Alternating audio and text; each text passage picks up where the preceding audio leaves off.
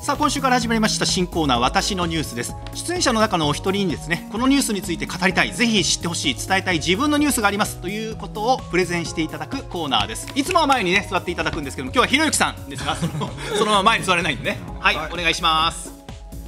あえーと、ムツゴロウさんの訃報なんですけど、はい、あの僕の子供の頃に動物番組って結構あったんですよね。TBS の関口宏さんの「ワクワク動物ランド」みたいな。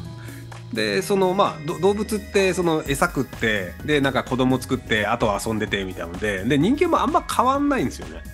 でなんか怒ってる人を僕割とあの怒ってる犬と怒ってる人間あんま変わらんよねみたいな言い方をするんですけど、うん、なんかその人間はすごい特殊なものであるみたいな割と思い込みがちなんですけど実際動物と大して変わらんよっていうのって動物をよく見てる人の方が多分そこら辺わかると思うんですけどそういう触れる機会っていうのが昔はムツゴロウさんの番組とかあったんですけど今は全然なくなっちゃったっていうのがあって、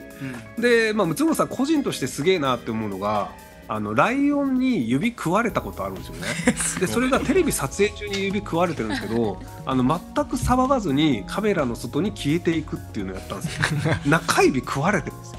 でもそれで中指食って大騒ぎになったらそのライオンが、まあ、あの射殺されてしまう可能性もあるっていうのがあってで騒がなくてこれは僕のミスなので今度もう一回ライオンに会いに来ますっていうので罰を与えないでくださいって言ってもう一回再開してるんですけどそれをムツゴロウさんが言ってるので人の指食ったライオンも生き残れたんですよ。っていうなんか気もちゃんと使えてる人でであの麻雀やたら強くて確かあの初の10段かなんかってムツゴロウさんなんですよね。へなので割とすごい能力値の高い人で麻雀もやるし作家としても成功してるしで動物大好きみたいな、うん、なのでかなり面白い人なんですけどなんかその面白さが最近の若い人には伝わってなかったのでなんか伝わるようなものがあるといいなとちょっと思いました。むっちゃ詳しいですね。熱量がすごすぎる。子供の頃からそのムツゴロウさんの番組見てたんで、そうか割と好きだったんですよ。それこそムツゴロウさんを道徳の教科書入れたらいいんじゃないですか、そしたら そしたらもうみんな知ってくれこれから知ってくれるからね。はい。まあ特にその動物とのね接し方っていうところはねありますよね。うん。佐々木さんどういやあの、結構乱暴で破天荒な人だったっていうのがよく言われていて、なんか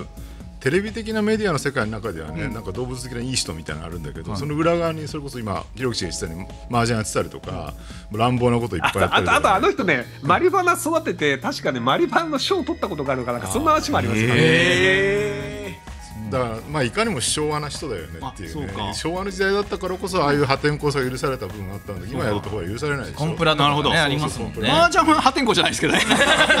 麻雀やってもいいけどね。だからなんかそういうねでも逆に言うとその破天荒さがなくなっての今の時代の面白くなさでもあってなんかそこに対する我々憧れみたいなちょっと感じたりはしますよね。はい。ひろきさん最後一言どうぞ。あ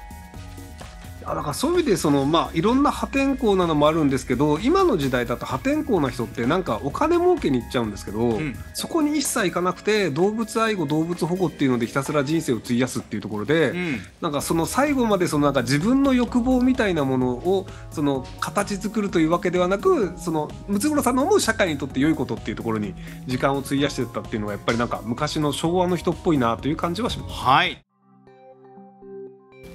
アベマプライム進行の平石直之です。ご視聴ありがとうございます。これを機にチャンネル登録よろしくお願いします。